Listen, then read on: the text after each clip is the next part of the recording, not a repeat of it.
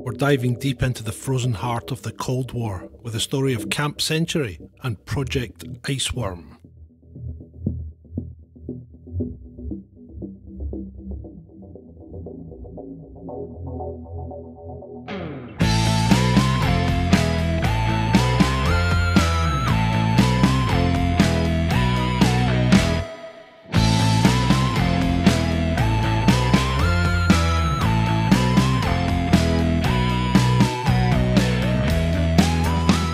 It's a story of ambition, secrecy, and the incredible engineering feat of building a city under the ice.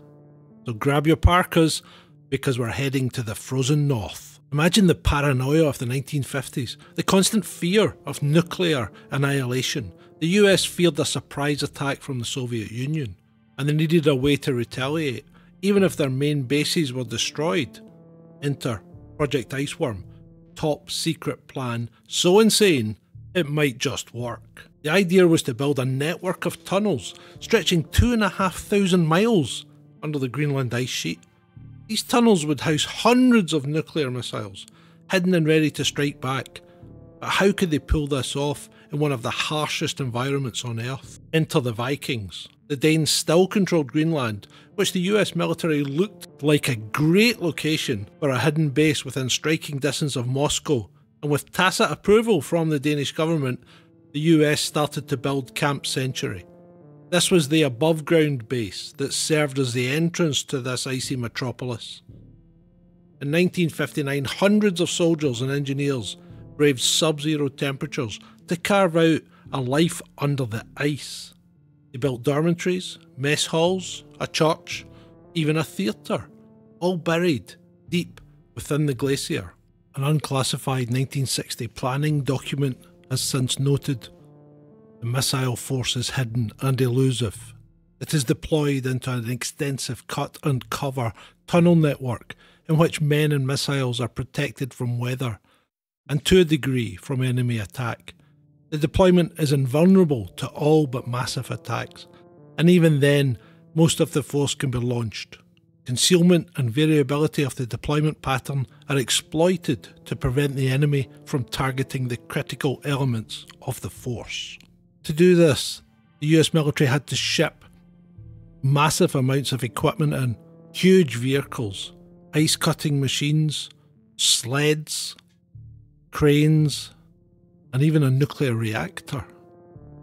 Engineers worked hard to dig massive trenches that they then covered over with sheets of steel, and then those were covered over by snow and ice.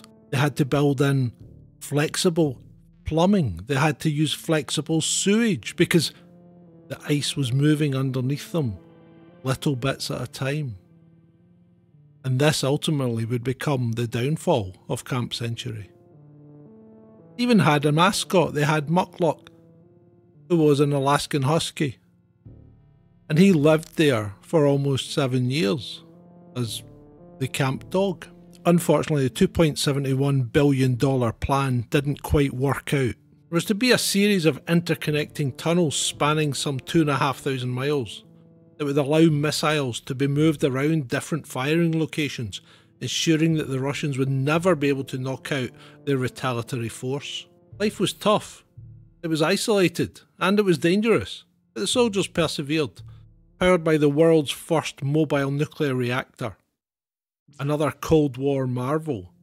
But the biggest challenge wasn't the cold, it was the ice itself. Scientists soon discovered the Greenland ice sheet wasn't as stable as they thought.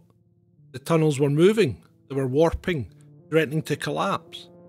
The dream of a hidden missile network started to melt away. Effectively, the Greenland ice sheet was a gigantic glacier with various parts of it on a journey towards the edges. After just a few years, the project was deemed impractical.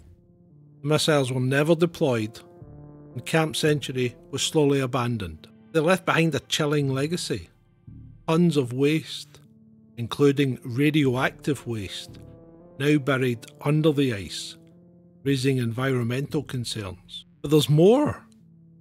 Project Iceworm left an even different legacy and while it was a failure, it serves as a reminder of the lengths nations went to during the Cold War. It's a story of how human ingenuity pushed it to its limits, the dangers of secrecy, and the lasting impact of our actions on the environment. And part of the deep drilling that the engineers did there, as part of the research cover, they drilled a 4,550 foot deep core into the ice sheet. And then when they hit Earth, they drilled a further 12 feet, brought up a plug of frozen sand, dirty ice, cobbles, and mud. The military then moved that ice core from its own freezers to the University at Buffalo in the 70s.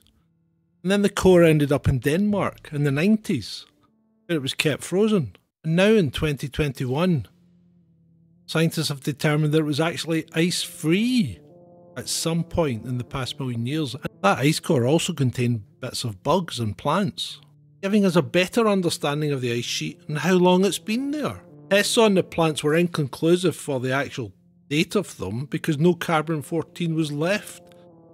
But testing on the rock fragments using the latest techniques suggests that the ice sheet is between 400,000 and 16,000 years old, not the millions of years thought previously.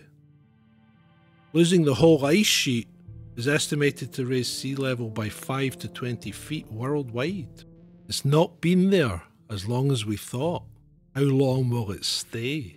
The next time you see images of the vast Greenland ice sheet, remember the hidden secrets, both natural and man made, that are squirreled away under that flat expanse of hard, cold ice an area so inhospitable that it could be on another planet.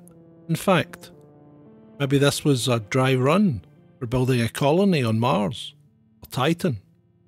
Just think about that. It's a tale of ambition, caution, and a reminder that even the most extreme plans can melt away in the face of reality and nature. Thanks for joining us on this icy exploration. If you enjoyed this video, give it a thumbs up and subscribe for more fascinating rabbit holes. What other secrets would you like to see uncovered? Let us know in the comments below. Till the next time, stay curious.